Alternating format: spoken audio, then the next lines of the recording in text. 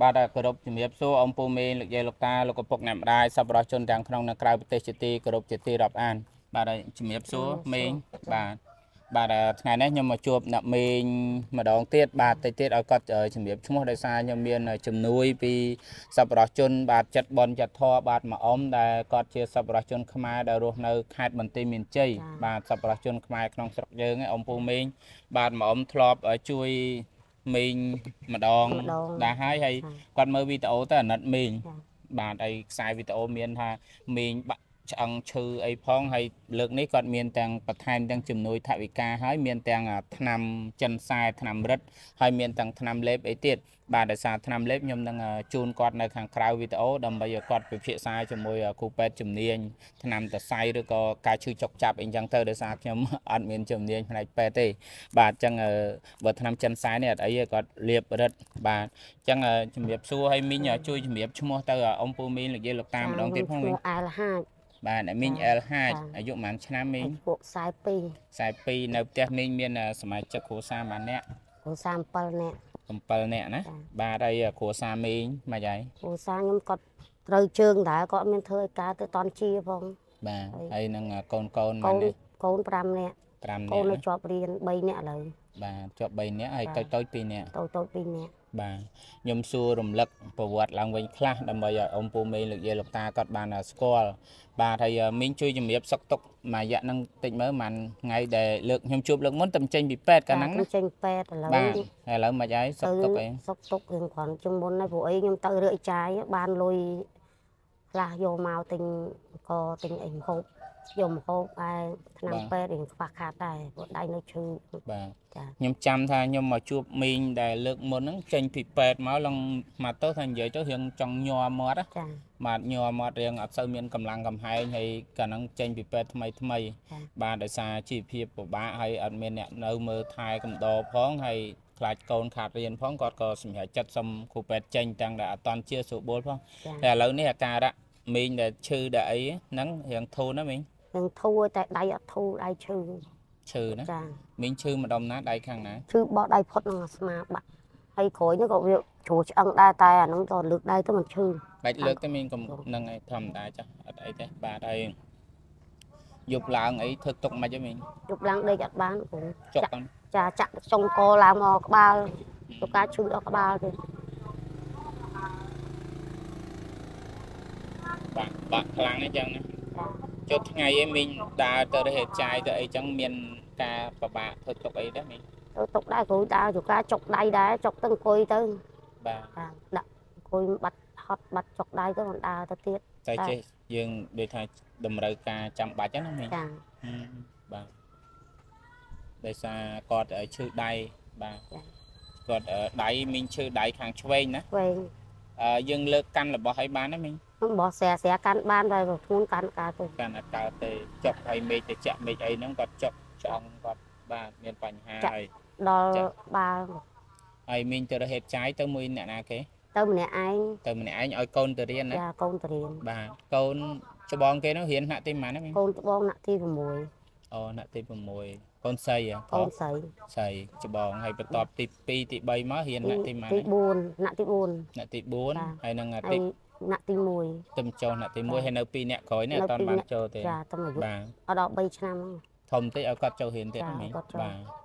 បានតស៊ូឲ្យគាត់បានរៀនសូត្រទៅហើយជីវភាពមកមករយៈនេះ ប្រហែលថ្ងៃក្រោយដែលថ្ងៃមុនអ៊ំបានជួយឧបត្ថម្ភទៅគាត់បាន20ម៉ឺនបាទ20ម៉ឺនក៏នឹងដូចថាញ៉ាំងជីវភាពឲ្យបានដូចថាបានពងតអត់ពងគាត់ពងអត់ឲ្យពងចេញពីពេទ្យមកផុតដៃផុតជើងមែនតើស្រាប់អ៊ំស្រីគាត់ចិត្តធរគាត់នៅខេត្តបន្ទាយមានជ័យហ្នឹងឧបត្ថម្ភថវិកាមក20ម៉ឺនខ្ញុំយកមកមកជូនគាត់បាទដោយថាញ៉ាំងជីវភាពហ្នឹងឲ្យយើងបានដោយថាដោះស្រាយអីបានមកគ្រាពងផុតដៃផុតជើងហ្នឹង បាទហើយពីនងមកដល់ឥឡូវនេះយើងរយៈពេលដូចជាប្រហែលថ្ងៃដែរហើយវាចូល2អាទិត្យទេណាមី2អាទិត្យ3អាទិត្យពី3អាទិត្យដែរហើយបាទហើយអ៊ំគាត់គាត់មើលវីដេអូហ្នឹងហើយគាត់មានការអាណិតអាណិតដល់មីងអែលហាចគាត់ថាកំសត់មីងកំសត់ទី1ប្តីក៏ពិការបាទប្តីគាត់ពិការរបួសព្រោះថ្នាក់ទៅរកអីធ្វើអីមិនកើតហើយកូននៅរៀនហើយមីងឯនេះ ថាមិនពិការទេប៉ុន្តែឈឺឈឺឈឺដៃគាត់ខាងនេះគឺឈឺអំពូមីងបាទអំពូមីងដែលធ្លាប់អឺមើលវីដេអូខ្ញុំកន្លងមកហ្នឹងគឺឃើញណាបាទគឺដឹងពីប្រវត្តិរឿងរ៉ាវរបស់គាត់អីអញ្ចឹងណាចឹងហើយគាត់ធ្វើការងារធ្ងន់អត់កើតទេហើយមួយរយៈមុនមីងបេះបន្លែណាចាបេះបន្លែបាទតាំងពីឈឺមកខ្ញុំអត់បានចោះបេះទេតែបេះទៅរើកចាយម្ដងទៅបើបើចុះទឹកទៀតចោះទឹកញាក់ញាក់ចុកយកណាចាបាទ ចឹងហើយបង្ខំចិត្តឲ្យដូរពីបេះបន្លែមករើសហិចាយរើសហិចាយមកធ្វើរបរនៅលើគោកម្ដងសិនចាពួកខែនេះខែវាខែយើងល្ងាដែរជាក់ដែរតិចបាទអឺបើប្រៀបធៀបអាការទៅបេះបន្លែហើយនឹងការមករើសហិចាយមីងគិតថាមួយណាសមរម្យជាងនិយាយទៅម្យ៉ាងម្នាក់គ្រូអឺអីចាយយើងរកបានមកយើងលក់នៅយឿហ្នឹងលឿនដែរវាអត់ពិបាកការដើរលក់តើពេលបេះបន្លែយើងនៅយកមកដើរលក់ចងចេញជាដុំហើយដើរលក់ចោះទៅវាងាយដែរខែនេះជាងបាទ ចាអញ្ចឹងវាមួយយ៉ាងម្នាក់ចាលបតែចំណូលរកចូលដូចប្រហាក់ប្រហែលគ្នាគ្រូបាទចាលបលបនេះចឹងនិយាយថាយើងអត់សូវអត់ប្រើដើមទុនដូចគ្នាយើងប្រើតែកម្លាំងពេលវេលាដែលយើងចុះទៅរកចាបាទហើយដល់ឡែកងាកមកជីវភាពក្នុងគ្រួសារមីងមានការផ្លាស់ប្ដូរអីខ្លះដែរយើងធូរជាងមុនដែរគ្រូហើយអត់ពិបាកជាងមុនពេកទេវាអត់ពិបាកការព្រឹកឡើងងើបឡើងទៅចោះទឹកចោះអីចឹងណាគ្រូបាទចាតែឥឡូវគាត់នៅព្រលឹមឡើងយើង នាំកូនជិះពាក់អាវហើយចឹងឲ្យវាទៅរៀនទៅយើងកាន់ថង់មួយទៅដើររើឲ្យចាយទៅហើយបានមកថង់មកយកមកចាក់ផ្ទះទៅចាំឲ្យទៅរើមួយជើងទៀតទៅបានយកមកលក់អូអញ្ចឹងមកមកវេនព្រឹកហ្នឹងមីងទៅពីត្រពីឡរប់ជើងចាពីរជើងបានប្រហែលជាជាង10000ដែរអូហើយយើស្រួលយើងបានមកយើងច្រែជ័រដាក់ជ័រកំប៉ុងដាក់កំប៉ុងទៅបាទយកទៅចូលទៅយឿនមកផ្លេតលក់ បានលុយផ្លេតចាបានយើងលុអត់អត់ចាំបាច់អត់ដើរអត់បើដើរបើបើបន្លែយើងទៅបេះបានហើយមកវិញនៅនៅចដើរងចនៅកលេសចាហ្នឹងហើយតម្រាំបានហើយនៅដើរលក់ទៀតហ្នឹងទួលហើយក្តៀអត់ប៉ាតអស់ទៀតជួនអីជួនអីលក់អត់អស់ទៀតតែបើអេតចាយយើងរើសបានប៉ុណ្ណាគឺលក់គឺហ្នឹងហើយស្រួលគេទិញយកប៉ុណ្ណឹងចាអត់មានសល់ទេអត់ទេហើយបើគាត់ថាបាក់របន្តិចវារសាយើងជួងកាលយើងដើរទៅបានមុនគេទៅវាបានរើសបានទៅណាអត់ទៅវាអត់ដែរ តែបានប៉ុន្មានគឺយឺគេទិញអស់អស់ចឹងស្រួលជាបាទងចោះទឹកទៅរើសអេតចាយហ្នឹងជាទូទៅមីងទៅដល់ម្ដងណាខ្លះមីងខ្ញុំដើរមុនដើរទៅកន្លែងផ្លូវស្អីគេនេះបូរីកន្លែងលក់នំប៉័ងកន្លែងផ្លូវបត់ឡើងទៅលើនេះអត់សូវស្គាល់ដែរផ្លូវឡើងទៅលើយើង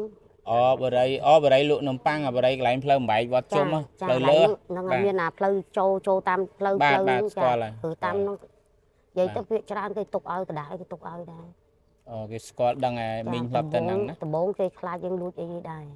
ដល់ពេល តែពេល យូរយូរទៅ ចឹងទៅ គេស្គាល់ ហ្នឹង គេ ហើយខ្ញុំ ណាត់ កាយឲ្យចឹងខ្ញុំចងឲ្យគេវិញទៅដល់ពេលទៅម្ដងពីរដងគេស្គាល់គេទុកกระดาษផ្សេងចោលផ្សេងទៅគេឲ្យយើង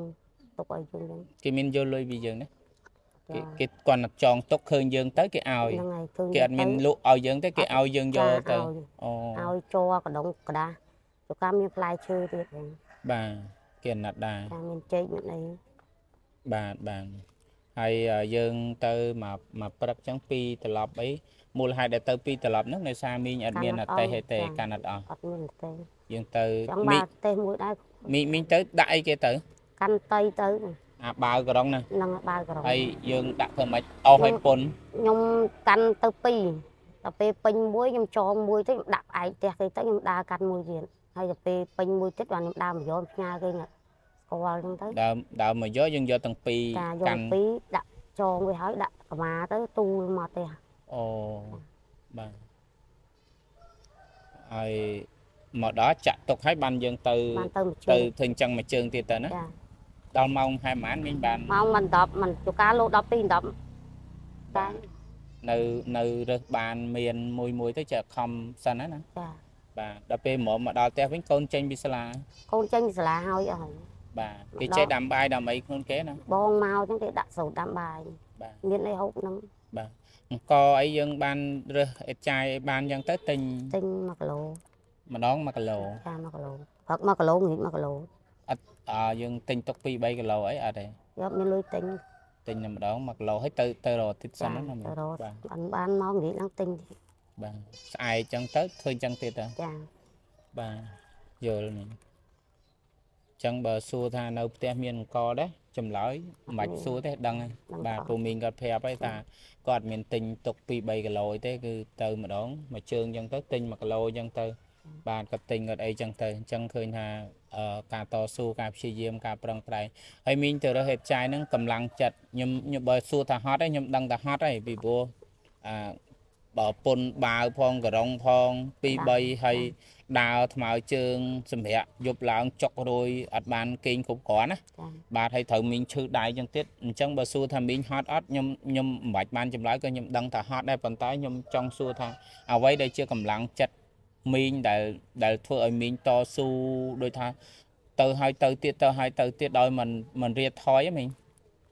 ការប៉ັດគ្រូខ្ញុំហត់ដែរនឹងខ្ញុំចង់ទៅទេតែគ្រាន់ថាបើខ្ញុំអត់ទៅរកអញ្ចឹងកូនរៀនសូត្រផងអត់អីហូបផងអញ្ចឹងបងទៅដោយបខំបងបាទចាបើតាមទឹកចិត្តទៅគឺអត់មានកម្លាំងទៅទេពួកអីនៅឈឺអញ្ចឹងបាទចាហើយទៅអញ្ចឹងទៅមើលតបានតិចពេកអញ្ចឹងអត់គ្រប់ទេអញ្ចឹងត្រូវទៅមួយជើងទៀតបាទចាទៅអញ្ចឹងយប់ឡើងមកវិញដេកឈឺ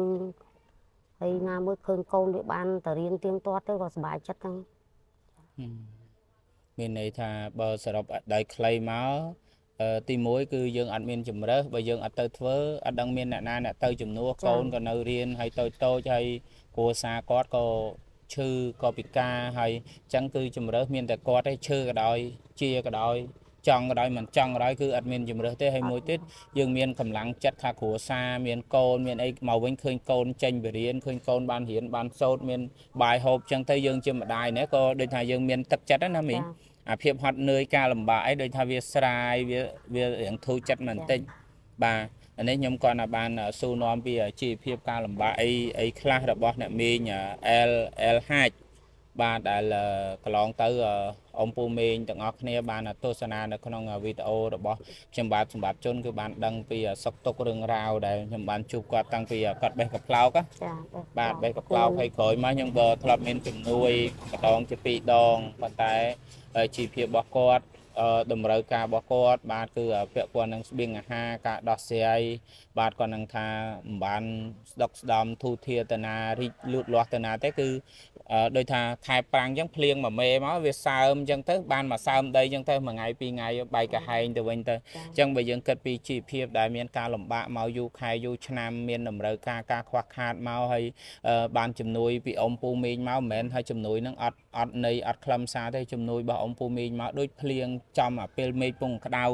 អឺចំពេលដែលយើងកំពុងតែត្រូវការបាទមនុស្សដែលយើងត្រូវការអឺ ផុតដៃផុតជើងដូចថ្ងៃមុនអញ្ចឹងមីងពងចេញពីពេទ្យមកហើយហើយផុតដៃផុតជើងមែនតើ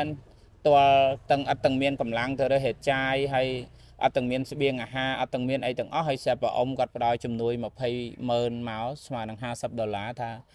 ជួយដូចដូចថាផ្ដោះឲ្យយើងមានក្តីសង្ឃឹមមានកម្លាំងចិត្តឡើងវិញហើយចំពេលវេលាល្អទៀតខ្ញុំនៅតែសរសើរអ៊ំថាចេះរើសពេលវេលាហើយចេះរើសមនុស្សទៀត ពីរពីរហ្នឹងគឺខ្ញុំសរសើរគាត់ថាអ៊ំអើយអ៊ំដូចមនុស្សភ្នែកទឹកដូចមនុស្សមានបនអញ្ចឹងមិនមែនថាខ្ញុំសរសើរអ៊ំម្ចាស់ជំនួយទីមួយអ៊ំចេះរើសមនុស្សដែលពងពិបាកចាចំអ្នកពិបាកគាត់រើសហ្នឹងមិនមែនខ្ញុំអឺជំនួយទាំងអស់ដែលខ្ញុំមកថតនេះហ៎មិនមែនខ្ញុំអ្នករើសខ្លួនឯងទេបាទអញ្ចឹងអ្នកខ្លះក៏អត់យល់គាត់មកសុំខ្ញុំលោកគ្រូឲ្យជួយតែគេអត់ជួយខ្ញុំផងថាអត់ទេមិនមែនខ្ញុំទេខ្ញុំអាស្រ័យលើម្ចាស់ជំនួយគាត់អ្នករើសបាទហើយអញ្ចឹងអ៊ំពូមីលោកយាយលោកតាខ្លះថាចុះខ្ញុំមិនមិនទៅជួយអ្នកនោះផងទៅជួយអ្នកនេះផងថាអាស្រ័យលើម្ចាស់ជំនួយម្ចាស់ជំនួយគាត់មើលឃើញពីខ្សែជីវិតរបស់មីងអលហាច់គាត់ថាក្មួយឥឡូវអ៊ំផ្ដាល់ជំនួយទៅក្មួយឯងយកទៅក្មួយទៅឲ្យអឺ ឈ្មោះអែលហាច់ហ្នឹងខ្ញុំមកជួបមីងហ่ะមិនមែនខ្ញុំអ្នកចុចខ្លួនឯងទេណាមីងចាទីមួយអាស្រ័យលើសម្ពាយបនរបស់មីងហើយមីងពិតប្រកបអត់មនុស្សតលមនុស្សពិបាកការតស៊ូការព្យាយាមការប្រឹងប្រែងរបស់មីងហើយបូករួមនឹងចិត្តបនចិត្តសទ្ធារបស់ម្ចាស់ជំនួយគាត់មើលឃើញចាអាគាត់មើលឃើញគាត់អាណិតមីងគាត់ផ្ដល់ជំនួយមកខ្ញុំមកជួបមីងបាទដូចថ្ងៃនេះអញ្ចឹងអាមកអ៊ំបាទមកអ៊ំគាត់មើលឃើញគាត់ជួយមីងអែលហាញម្ដងហើយដល់គាត់មើលឃើញអញ្ចឹងទៅគាត់អាណិតគាត់ថាឥឡូវក្មួយសម្បត្តិជន់ហើយអ៊ំវេថាវិការទៅអឺម្ដងទៀតហើយក្មួយឯងទៅជួបអឺមីងទៅជួបគាត់ហៅមីងក្មួយទៅជួបក្មួយអែលហាចម្ដងទៀតហើយនាំថាវិការអ៊ំទៅទៅឧបត្ថម្ភគាត់ម្ដងទៀតហើយម្ដងនេះគាត់គាត់មានទាំងឆ្នាំបាទមានឆ្នាំពេទ្យឆ្នាំពេទ្យនេះគាត់មានជាឆ្នាំ10កញ្ចប់បាទគាត់ទិញពីអឺពេទ្យជំនាញគេគេផ្សំតាមអាការៈជំងឺដែលមីងធ្លាប់មានណាគាត់មើលក្នុងវីដេអូហ្នឹងណាអញ្ចឹងអាឆ្នាំហ្នឹងចាំឲ្យមីងពិភាក្សាមួយពេទ្យគេជំនាញថាឆ្នាំតសៃការបំបត្តិការឈឺចុកចាប់ហ្នឹងយើង ពិសា